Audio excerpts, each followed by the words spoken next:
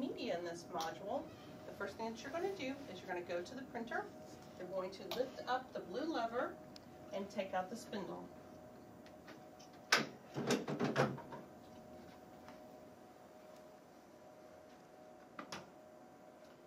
Now, it's important to understand a couple of things about the spindle. First of all, the blue colored um, end cap of the spindle is dynamic. It's not fixed. Depending on what size media you're loading, it can come up nice and close so that any size roll of media that you're working with will stay nice and tight. The other thing that I want you to understand about this is that your printer would have come with these things. Do you know what they are? They are um, three inch core adapters. There are certain types of medias that you might use with your printer that come from third party companies or fine art media from HP. And the actual core of the media, instead of being a standard two inches, as we see here, might be a three inch core, in which case you'll need to use these adapters. They snap right into position. Don't run away. They snap into position on both sides here and on this black end, which is the fixed side of the spindle. When you're done using these, just snap them right back out, put them in a safe place for you to use next time. So, also be careful with this thing.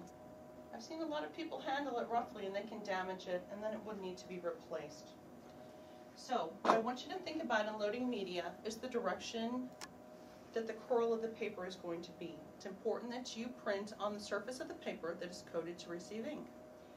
So the media path is the media goes forward and comes around and back towards you. So keep that in mind when you load media onto the spindle.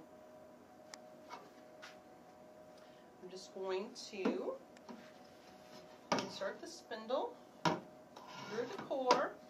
I want to make sure that the media is flush up against the black surface.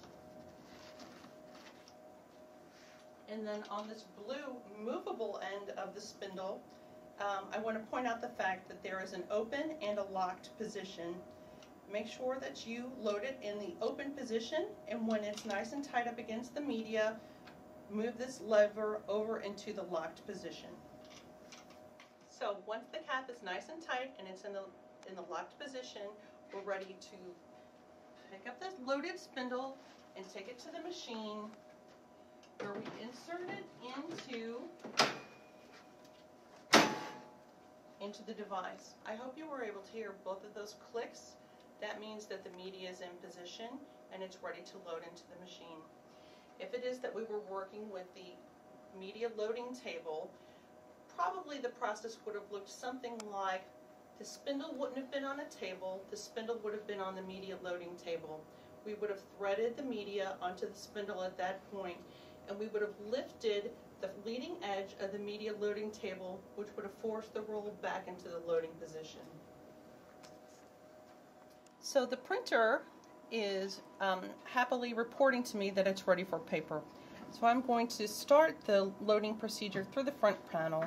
I have an opportunity to do it two ways. I can either use the quick access key or I can go to my personally preferred method into the menu key I'm going to use my up or down switch and navigate to the paper icon. I'm going to say OK, and then what I'm going to do is I'm going to use my up key to say load paper. And since this is a device that supports roll media, I'm going to say OK to the option to load a roll. And you can see, as I had mentioned in previous module, it's showing an animation on the front panel that will show me exactly how to load media. So what we're ready to do now is to pull a couple of inches of media off of the spindle and move it into the paper path so that the printer will initiate its automatic media load sequence. What's going to happen is I'm going to do my level best to feed it in smoothly and evenly until I hear an audible beep. I should at this point begin to see the paper coming through this, the front portion of the printing platen.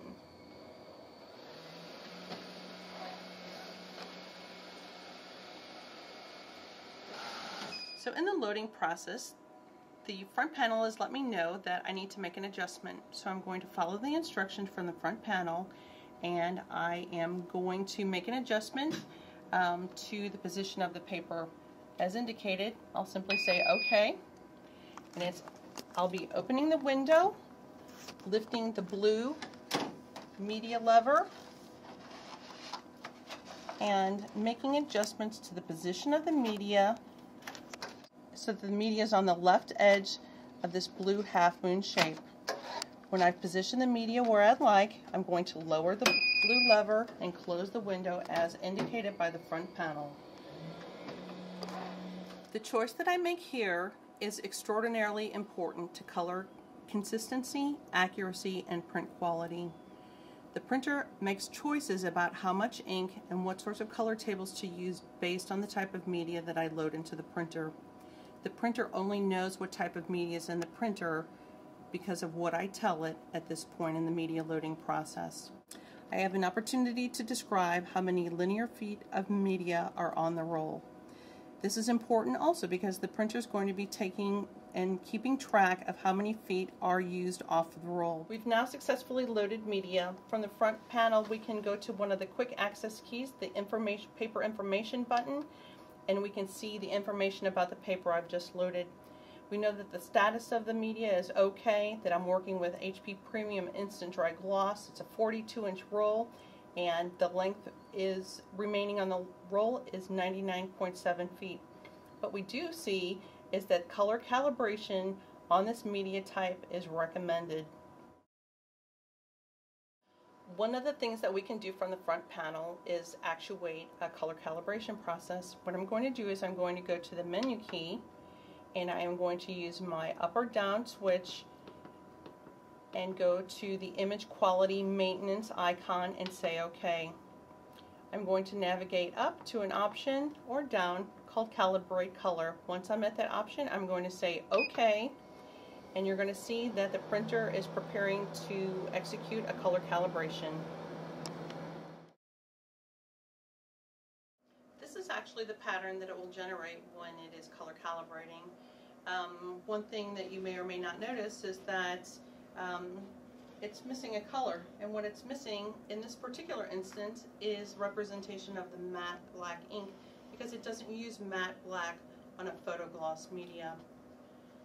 This pattern is printed out during the color calibration process and then the printer will wait and depending on what media type um, until the ink is dry.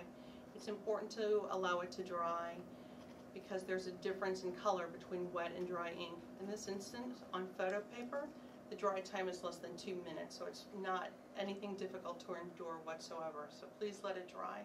The printer then will pull in this pattern and it will use its onboard I1 spectrophotometer and measure the color. It knows what it's expecting to see. It will take the data on what it does see and make the um, up for the difference in any sort of delta between what it was expecting and what it actually received. There are a couple of different statuses for color calibration that you might see if you go to the paper information button. One of the conditions of calibration is okay, and what that means is that you're clear and ready to go one of the options, other options, is called recommended. So I bet you know what that means. The printer's recommending that you do the color calibration. Another condition of color calibration is called pending. And what that means is that that particular set of um, media and printhead combination has never been calibrated before, so there's not even old reference data for it to go to. So please do the color calibration. The last status of color calibration is called unavailable. And what that means is that you're working with a particular type of media that you can't color calibrate on. That might include any sort of colored paper, any sort of transparent media, or any sort of particularly textured and glossy, that combination, media that would um, be difficult to grab spectral information from. Uh, that might include um, high glossy canvas. Keeping your device color calibrated um, is a very simple thing to do and what it does, color calibration means that your prints are going to be accurate and consistent print to print and day to day. That's exactly what we're after working with a graphics device.